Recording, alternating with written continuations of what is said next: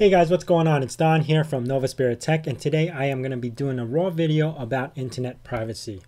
Now, earlier this week, the Senate voted to repeal the privacy measures that would stop internet service providers from selling our web browsing data to third parties. One of the popular recommendations that might have surfaced on the internet is to use VPNs or virtual private networks. There's more comprehensive guides as far as what is a VPN, but I'm going to give you in layman's term. Basically, it's a secure connection and encrypted connection between your computer and another guy's computer.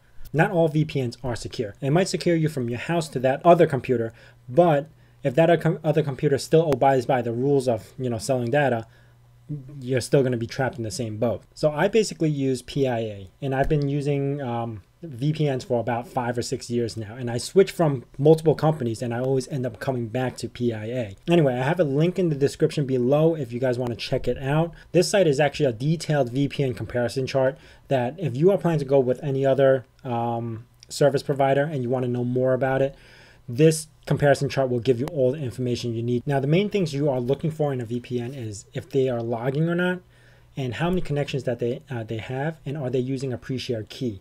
Because if you go with something like IPVanish or v, uh, PureVPN, they use a pre-shared key. What that means is that basically, if you go to Starbucks and connect to their VPN using some of their service providers, since I have the same pre-shared key, I could ultimately just steal your data right there from Starbucks. So avoid that. Another website that uh, I'm also going to lead you to is privacytools.io. This website basically has a lot of VPN providers that you could check out.